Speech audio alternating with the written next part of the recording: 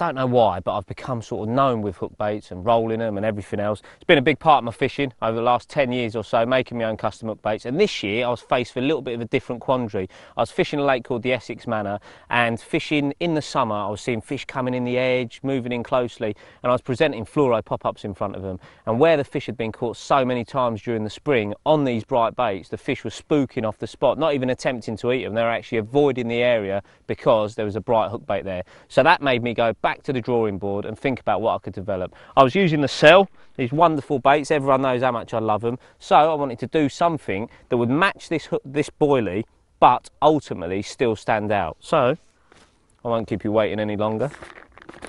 In this tub, as you can see, our cell hook baits with a slightly different tinge. Look, that's a normal cell, and they're my hook baits slightly different in colour, but still not that blatant. They're very easy to do. They're slightly more balanced than normal sort of corkball bait.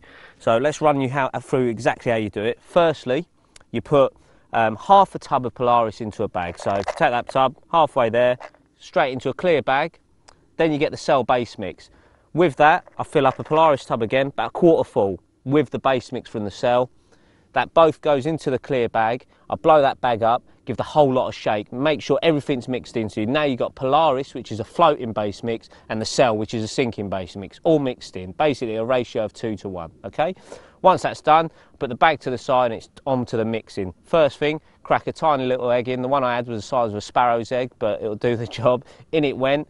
Next, a tiny bit of brown colour. As you can see, the tinge is different and that's how I get it. Normally, Mainline recommend a quarter of a teaspoon to a pound of mix. I'm actually using what I described to the guys, a hornet's eyelash worth, just a tiny bit of a fork just into the eggs. Then 15 mil of the cell activator, that's put into the eggs. Normally, it's 15 mil of cell to a pound of mix, which is normally four eggs. So you're making them four times as strong. Then finally, it's multi-stim. Multi-stim is an appetite stimulant. Normally in a food bait, it's brilliant because fish get on it, eat it, and it's stimulating them to eat more. But I've found in my hook baits, it works really, really well. So again, 15 mil of multi-stim. That sort of separates them from a standard cell one out of the bag. Whisk it all up, get it all moving in, turn it all, make sure the colour's all dispersed, there's no lumps in there, everything's mixed in perfectly. The next job now is to start adding the base mix. Do it bit by bit, don't launch it all in so you end up with one big hard bit of paste.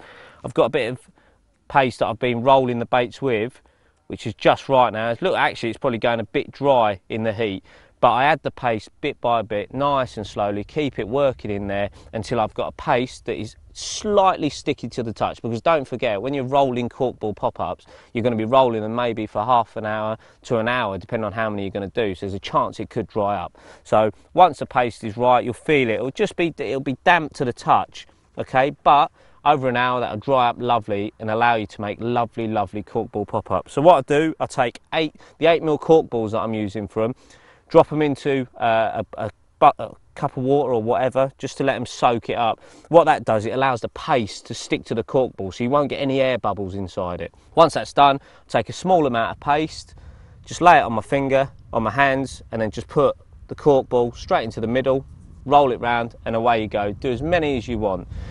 Finally, it's onto the boiling process. I like to do them in small batches, no more than sort of 10 baits at a time. They go into the boiling water for 90 seconds, out they go, onto a towel, dry them off, and that's where I'll often leave them for up to a week. That What that allows, if you, these, you can hear them in the tub. Hear that rat, there's no soft edges, they're just nice and loud, and that's because they've been dried off lovely, which means they go on the hair well, they, they get tied on easily, and they're resilient to the attention and nuisance fish, which stops them from peeling it off from around the cork ball.